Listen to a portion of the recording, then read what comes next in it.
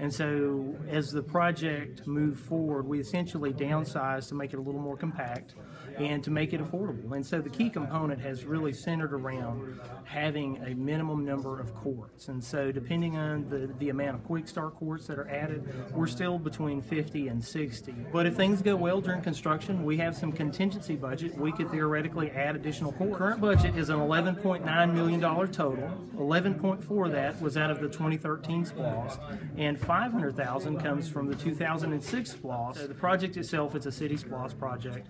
It's going to be managed a little differently in that we've envisioned a new board, a new tennis board would be created. The cost of hosting facilities, the cost of, of running the facility, all of those are going to be real and true costs. And so it is a city, it's a city project currently.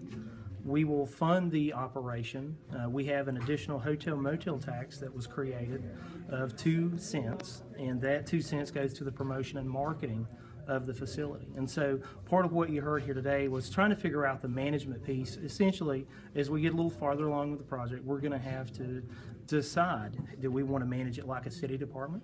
Do we want to manage it with a third party? Like, uh, and the example I gave earlier today is how we manage Stonebridge Golf Course. Uh, the tennis courts are laid out in um, kind of a vista tiered arrangement where uh, the clubhouse holds the panoramic view of all of them. Inside of that, we've also incorporated uh, very nicely with the wetlands and the uh, the stream buffers, and we believe we've created a very nice design that incorporates nature and greenery into a tennis court. Most tennis centers see being very compact with very little room in between them as a positive thing. We approach this not 180 degrees from that, but kind of.